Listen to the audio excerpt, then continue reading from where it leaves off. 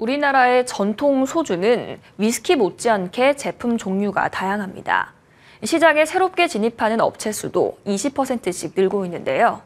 주류업계의 유행을 짚어보는 기획 마지막 순서로 이원호 기자가 증류식 소주에 대해 취재했습니다.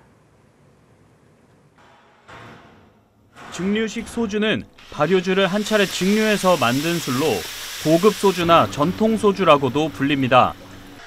알코올을 물에 섞는 방식인 희석식에 비해 원료의 깊은 풍미를 느낄 수 있는 것이 특징입니다. 증류식 소주는 한 2, 3년 전부터 많이 즐겨 먹고 있고요. 네, 너무 맛있죠. 희석식 소주랑 비교하면 아무래도 좀 단맛이 좀 있는 편이고 깔끔하고 우리나라 음식이랑 또 잘 어울리고 많이 찾습니다. 맛의 정체성이 확실하고 종류도 위스키만큼이나 다양한 증류식 소주. 주류 애호가들의 선택이 이어지자 각 지역의 중소형 양조장들이 줄지어 출사표를 던졌습니다. 증류식 소주 제조 면허 수는 2019년 112개에서 지난해 216개까지 코로나19를 거치며 두 배 수준으로 늘었습니다. 연평균 증가율은 18%에 달합니다.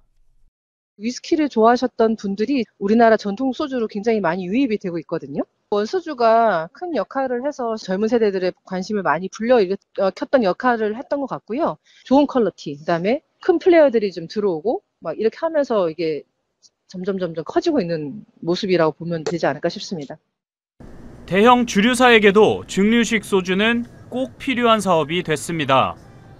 시장의 절반 이상을 점유하는 화요는 올해 3분기 수출 규모가 전년 동기 대비 30% 확대됐습니다.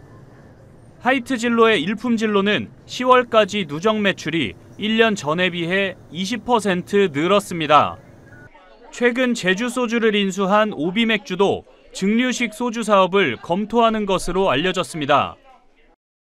남들과는 다른 나만의 것을 추구하는 소비자를 공략하기 위해 업계는 고부가가치 상품에 집중하는 모습입니다.